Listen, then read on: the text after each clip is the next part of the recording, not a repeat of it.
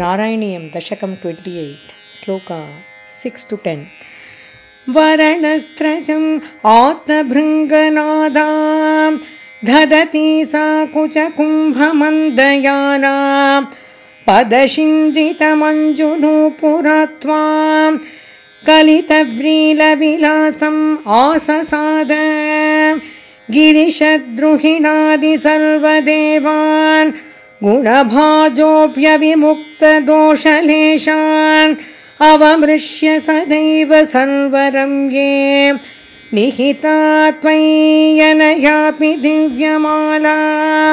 Ursa तरसा ममानिथैनां।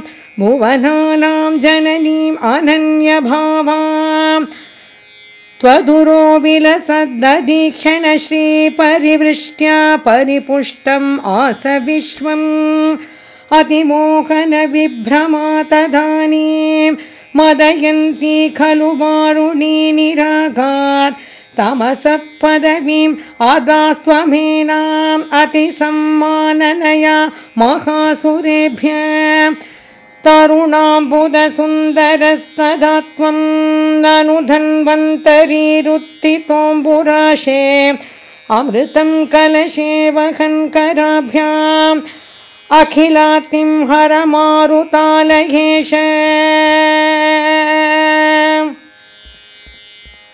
In this Dashakam, the emergence of Kamadenu, Kalpaka Vriksha, Airavatam, Mahalakshmi and Dhanavantri is described by Bhattadari. Bhattadari praises the Lord for having made the world get such priceless gifts by His mercy and requests Him to cure him of all his ailments.